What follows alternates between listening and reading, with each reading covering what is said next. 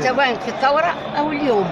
وسنبقى واقفين إن شاء الله حتى يتحرروا الجزائر من الخونة إن شاء الله.